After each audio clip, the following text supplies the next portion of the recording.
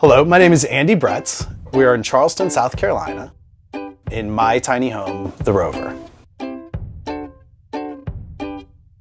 So Charleston's great. It's the number one tourist destination in the country for, I think, five years or something. I mean, there's uh, great restaurants, lots of great food, tons of culture. Also, uh, you're 10 minutes to the beach and to lots of beaches. And then we also have lots of like nature preserves and wildlife. Probably the most fun is when you're out kayaking and suddenly there's dolphins beside you. I mean, that's kind of fun to, it's a fun adventure.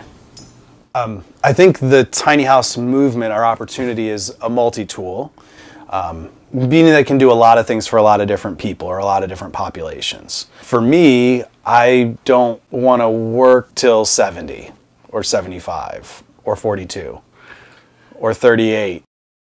So to me, the tool is the opportunity to create more flexibility in my life. Maybe retiring sooner or going on more trips or doing more fun things. Um, but yeah, having the economic ability, the freedom of choice. I think when you go tiny, you have to figure out what's important to you. It's, it's a soul searching. A lot of people perceive that the tiny house community is, a, is only for minimalists, and I am nowhere near the term of a minimalist. I like the term maximist.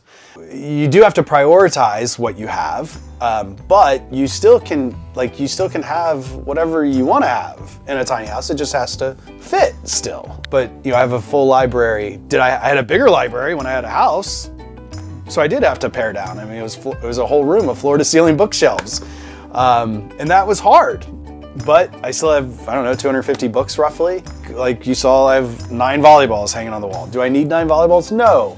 I had 40. I'm down to nine. I've given some away since I've moved here, and it might go down some more. Basically, the, the gist of it is, is that you're able to have whatever's important to you as long as you design the space to house it.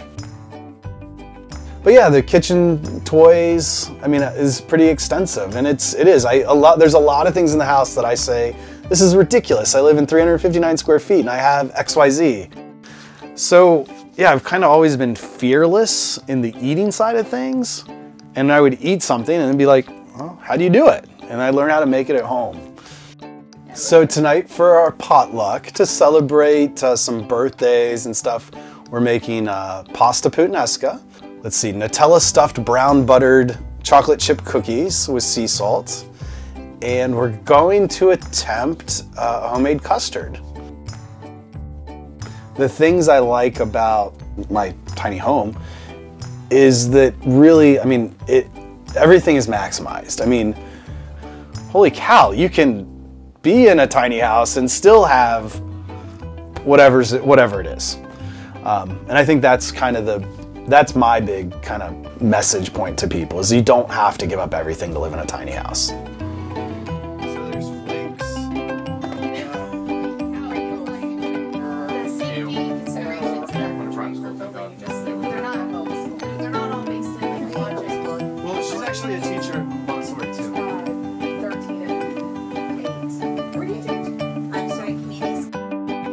Guys, Alexis and Christian here with Tiny House Expedition. Don't forget to like, comment, and subscribe. And click left or right for more tiny house stories and tours.